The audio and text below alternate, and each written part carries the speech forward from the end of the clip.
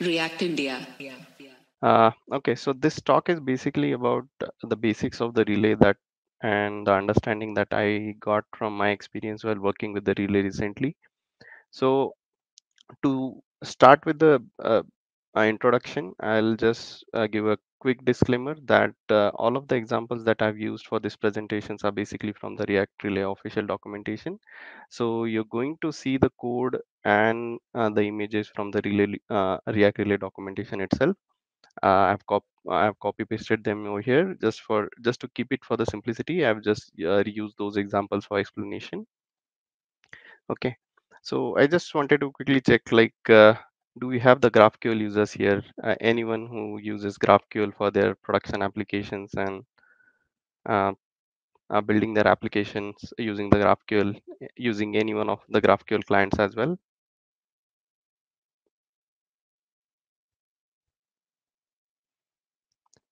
Okay. Uh, so I, I assume that most of us are already aware of the GraphQL and GraphQL client. So uh, let's move on to the next slide where uh, Gartner uh, did a survey on uh, uh, GraphQL usages and they figured out that by 2025, more than 50% of the enterprise are going to get used, uh, will be using the GraphQL in the productions, which is like uh, in uh, 2021, mm, uh, they did a survey and they figured out that only 10% of the enterprise were using uh, the GraphQL. But if you see now, it, is going to be more than 50% of the enterprises which will be using the GraphQL in the productions. So that defines uh, uh, the usage of the GraphQL currently in the production apps, and that really uh, takes us to the next level. That why we should now consider GraphQL as one of uh, one of uh, one of one of the tech stack to be used in the fr- uh, front end application development. Okay, so before talking about the GraphQL, let's talk about uh, the loading state of the application. Okay, so I have just given a simple example of the LinkedIn, wherein, for example, you're building a LinkedIn-like application and you have multiple components which has their own loading state. Uh, let's consider uh, this left panel, then you have the center panel and the right panel, and each of them are making uh, the network calls to get the data and render on the on on the UI. But imagine, like, would it be a good experience for your user if you have a multiple loading state? For example, your left-hand panels loads the data, then shows the content. Then after that, you're making a request to get some data for your middle panel. And after that is done, then you query the data for your third panel, which is the last one, right? So this is a common scenario wherein you might see multiple application behaving in in current world also you'll see this kind of the application wherein you will have multiple loading state. But imagine like uh, if it could have been a better user experience if you would have just single loading state and that single after that loading state your complete application will be full uh, full fully ready to be used for your users. So this current example that you're uh, seeing on my screen is an example of a single loading state wherein uh, whenever you try to load the LinkedIn application, it will immediately send a request to the server to get the complete data for whatever data is required to make this page work. So this includes your left panel, the center panel, as well as the right panel, right? But this always comes at a cost, right? So if you're trying to make a single call to get all the data, then imagine that that how big call that you'll be making to your server, right? Uh, you will have a complex data request uh, a uh, a need for your left panel as well as for center and for the right panel. So you do not actually want it to complicate your component. So in react we use a strategy called container and the presentational component right? So imagine that your container component is making a big query and getting all the data in in the uh, in the container component itself right? So that makes it pretty complex uh, to manage the application state in a single component. But like uh, but uh, that also comes with another benefit of like uh, you'll uh, since you're loading the data at one place only you'll have to manage the data at one place only and there'll be only single loading state right? So to combine the benefits of both the approaches having a single loading state as well as making sure that each of the component has their data requirement de- declared in the component itself there comes uh, the relay magic. So there uh, we are basically going to learn about how relay can help us to build an, a complex application where you have a data requirement for your all subcomponents and uh, you just are making a single page query to get all those data but still maintaining uh, the abstractions from each uh, each of these components that you created for your application. Okay? So before GraphQL we used to have a REST and we still have some applications running in the production which uses the REST. So just to give a quick overview of how REST versus GraphQL works. So for example, if you have a, a REST endpoint called slash person, which works with some query parameter and uh, let's consider pers person ID. So if I pass the person ID, I get a response uh, in the JSON format, which has some fields. So imagine that now your requirement changes and you basically do not need some of the fields from this response right? So the person uh, uh, or the developer who has built this uh, endpoint for your application might need to update their uh, endpoint to support your use case right? You cannot selectively choose the data that are required for your front end application. So it, it it it is basically like sending you all the data which is there uh, uh, which that backend uh, endpoint has declared right you you have no choice whether to neglect some of the fields from this response but if we look at the GraphQL query request, you see that you are making a query for a person with the ID and you are selectively choosing the field. So the benefit of making a GraphQL query is a straightforward benefit is you you see that you are you have a choice to selectively choose the fields from your uh, uh, from your response. So here I'm just choosing a name and occupation, and in the response, I, you see that JSON object, whatever is being re returned from my backend, just consists of uh, the fields that I have requested. I am not being overloaded by, by uh, other fields which are not at all being used on my front end. And this is very a common common scenario in all the front end application that you as your uh, front end evolves you might need to skip some field you might need to add some field to your backend apis to support your new designs right? So even when i am required to add some new fields to my uh, rest api imagine that adding a new field to the rest, uh, rest api uh, it would require changes in the backend as well as in the front end right? Because you'll have to uh, do some mapping, uh, map, mapping with your database to make sure that that a newly added field returns the data whatever is being requested. But imagine that same thing if you're doing with the graphql. You basically have to just put uh, declare your data in your schema declare that field and uh, inside your query you just need to put that field in uh, while making a request to your graphql backend. And response will automatically generate the response based on whatever fields are being requested. So GraphQL ma- makes the changes really easy for uh, the developers as well as it makes uh, it it does not really make uh, the front end tightly coupled with your back end. Front end can request the fields based on whatever data requirement front end has. Okay. So just a quick overview of how uh, like what all things uh, we have in GraphQL. So whatever things are uh, marked in the yellow color are nothing but the edges then you have the scalar fields which are nothing but the field that you actually request from your back uh, from your graphql backend. And uh, the one that are uh, in the red are nothing but the node type so we'll go deep into the details of how is the query queries form so uh, we are going to build an application called uh, the new story application where we'll have the top stories uh, on rendered on the UI. And to get that data, we have uh, one mock backend setup where which returns the top stories. So imagine that you're writing a query to get a top story. Now that top story has some title and summary, and it also has an image which has the URL.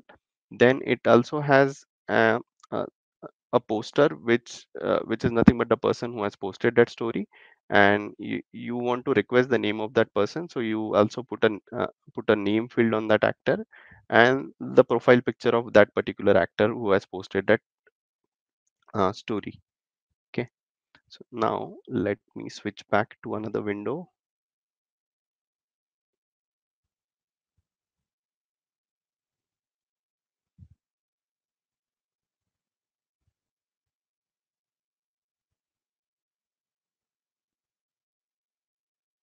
Okay. Okay, so I'll quickly uh, show how our application is structured. So if we, so again, this is an example for uh, example from the Relay official documentation itself.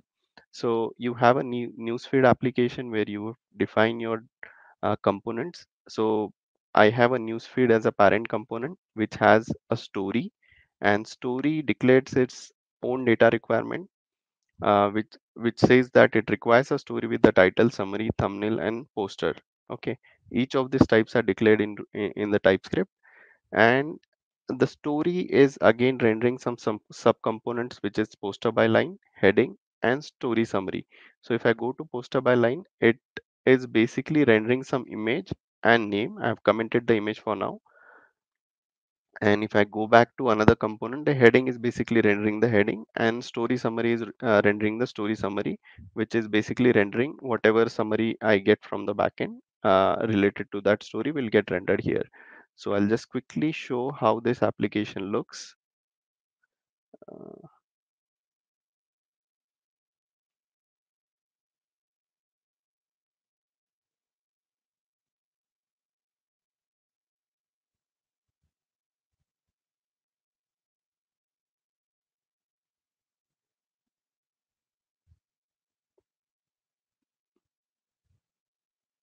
okay, so this is how our application looks. It has a story title, then it has an image and it has a summary, right? So now if if I go to my application, what I see is the starting point of my application is in index.tsx wherein I've defined the app and app is basically rendering my newsfeed. Okay, so newsfeed, if I go to my newsfeed currently, uh, what I have done is, uh, so since uh, like I mentioned, this is uh, uh, we are using relay, so we will we are using a relay uh, hooks for getting the data. So I'm using a use query loader to get get the news query data. So I'm just going into the newsfeed query. So if you go to the newsfeed query, you'll see that I've defined a top story as my query. So before that, I'll quickly show what is there inside the schema. So if you if, if we go to the schema, you'll see that if I just copy paste this top story and search for it, you see that there's a query defined called top story, which returns a story. And if I search for a story type, you'll see that story is nothing but an object which consists of these fields, right? So story can have as many fields as it can, but currently we only need couple of fields from the schema. So what we'll do is we'll just selectively choose the fields that we are uh, we we require to render on the UI. So to do that, what I have done is uh, first I'll I have used the use query loader and use query loader works uh, works with the TypeScript. So I have provided that use query loader. I need to load a data for newsfeed uh, newsfeed query type and I have provided the query which I want to uh, query from the backend, right? And this is where I have declared that query. So now if I go to the newsfeed component, newsfeed component is basically, so since this use query loader basically loads the data from the uh, from the backend, it populates that query with the data and to load to actually load the data i'll have to use the use preloaded query hook uh, so use preloaded query hook takes the query reference again uh, the actual uh, que query and the query reference again the preloaded query reference again. Now when i use the use pre preloaded query i'll get the story from uh, so this story it returns the story data from uh, from the backend and that story dot stop story. So if you see uh, whatever query I have declared, I have declared top story as the root uh, root level field. So that's why it uh, the whatever data that I receive will be received inside the top story itself. Okay. So now if you see if you see this code, what what what all things we have done so far is we have used query loader, we have used preloaded query, and we have also declared a GraphQL query to render uh, the UI. So here you see that the TypeScript magic, TypeScript has automatically generated types for uh, the queries that I have declared. So if you see the newsfeed copy query which I have declared, it has the response type as newsfeed copy query data if I go to the copy query data, it defines a type called top story, which is nothing but an object which consists of a fragment. Okay, so we'll come to the fragment, but if you see that it has automatically generated all the types for uh, for that query whichever I have requested. So this is the one of the be benefit that I've uh, really seen while using the relay versus any other library uh, like for example, uh, we have also alternate options to manage our application state using Redux, right? So we can al always go with the choice uh, based on our requirement. But uh, for GraphQL clients, you have uh, Relay as a better choice where you you just need to define your data requirement and Relay with with the help of hooks, you can easily get that data from the backend and it also provides a TypeScript support, which helps you uh, write less code on your front end and just play around with whatever uh, uh, data that you receive from the backend. Okay, so if I go back to my application and show you, so now if I just refresh my application, you see that whenever I refresh my application, there is a single loading state that is being shown to the user. And if I go to the network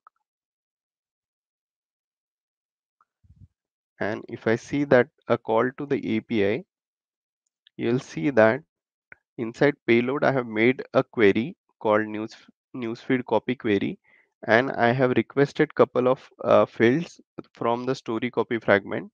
And inside preview you see that the data uh, is written for a top story. And the data contains only fields which I have requested. Okay. So if I go back to my component if I go back to my component and if I go back to my story fragment which is declared inside my story copy. So you see that I have declared title summary created at and poster. Okay. So if I just remove this field from my UI, uh, from my query, and if I go back and check the response, it won't contain that field.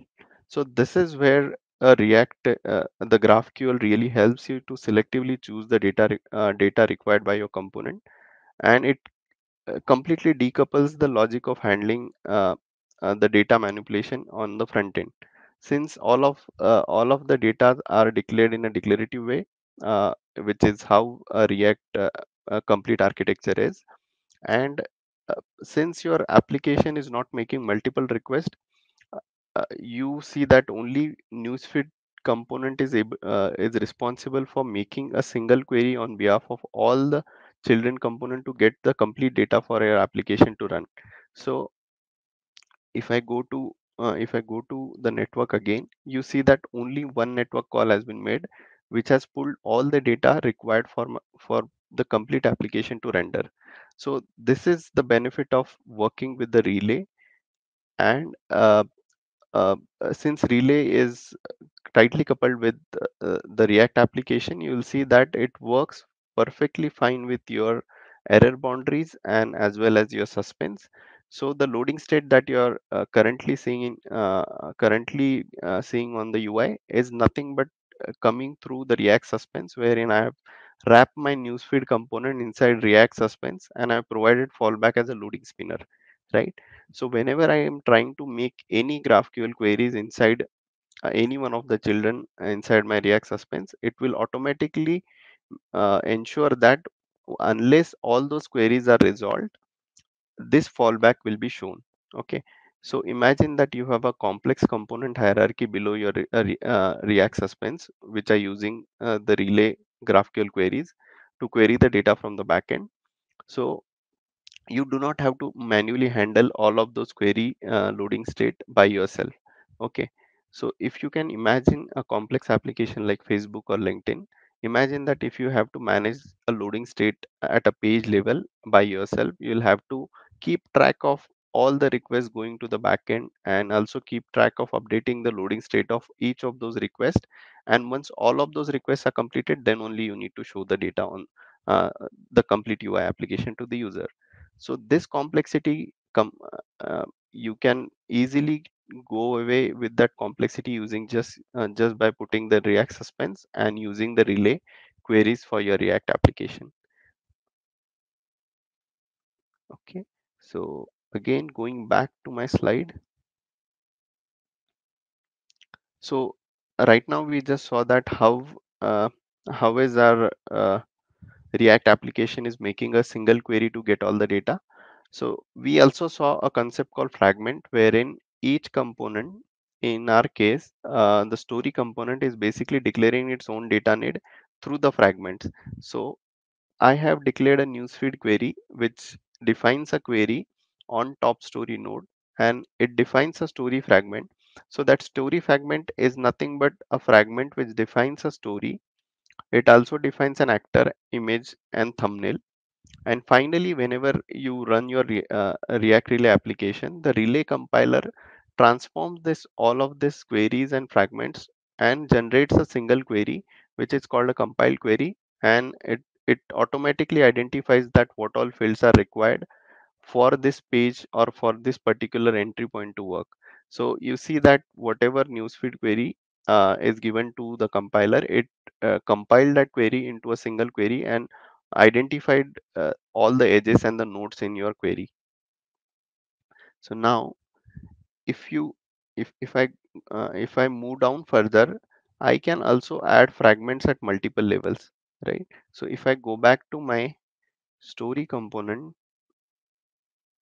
if I go back to my story component, you see that I have again a poster which define which again defining some fragments which are required uh, which are the data required by my subcomponent. So you see that poster by line is a component which require the poster details which are coming as a fragment from this parent level component.